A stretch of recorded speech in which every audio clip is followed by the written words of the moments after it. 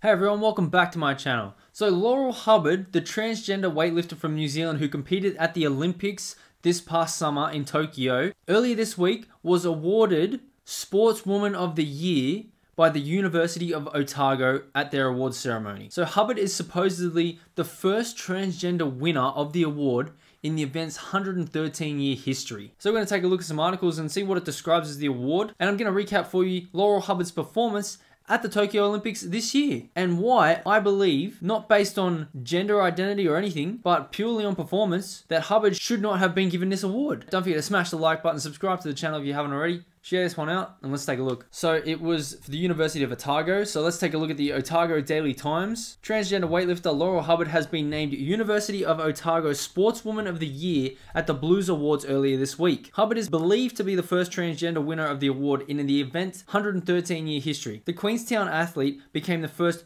openly transgender woman to compete at the Olympics when she contested the women's 87 plus kilo category at the Tokyo Games this year. The 43 year old was eliminated from the event when she failed to make a successful lift in the snatch. So quick recap for those who haven't seen in my previous video I did on this. In weightlifting, if you fail to lift or register a weight, then you don't lift in the second event because there's two events, snatch and the clean and jerk, and she failed to lift in the first event, so she doesn't get to lift in the second. And this is just a quick recap of what went down when she lifted.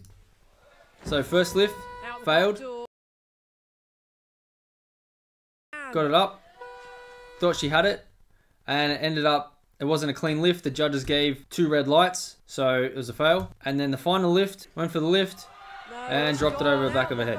So failed to complete one lift at the Olympic Games in Tokyo and is now Sportswoman of the Year from the University of Otago when she failed to make one successful lift after she qualified for the Olympic weightlifting team and what her coach said the rules are in place. That's the playing field we're in. So that's how we're going to move forward. This is from the Daily Mail. They, they bent the rules for a look.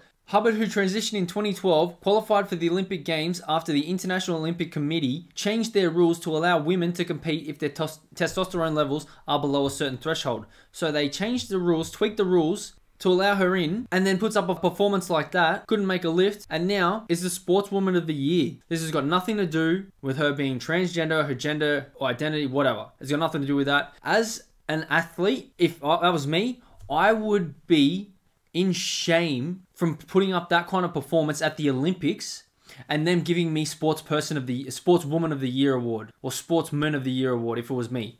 I would be hanging my head in shame. I wouldn't want a performative wokeness award if I was her from the university to say you are our sportswoman of the year because of who you are basically.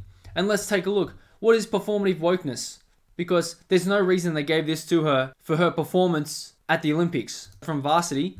Performative wokeness is just that performative, a superficial show of solidarity within with minority and oppressed bodies of people that enables usually white and privileged people to reap the social benefits of wokeness without actually undertaking any of the necessary legwork to combat injustice and inequality. It was injustice and inequality because female athletes told to be quiet regarding transgender weightlifter. So the female athletes who wanted to go to the Olympics were told to shut up, be quiet when they questioned having Laurel Hubbard compete on the New Zealand team. And then what happens? They get their golden girl. She competes and fails to make a lift at the Olympics and then is awarded Sportswoman of the Year. There you go. That's your Sportswoman of the Year. Failed to make one lift. Let's take a look at this quote from the University uh, uh, Otago University Students Association President Michaela Waite Harvey. Let's see what she said. We could think of no one more worthy of Sportswoman of the Year than Laurel Hubbard, who represented Otago and New Zealand incredibly well at this year's Tokyo Olympics.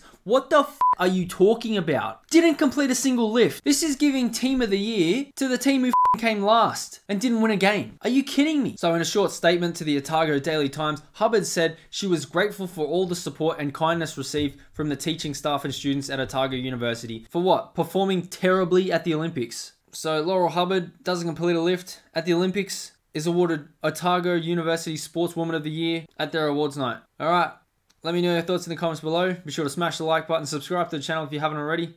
Share this one out, and I'll see you in the next one.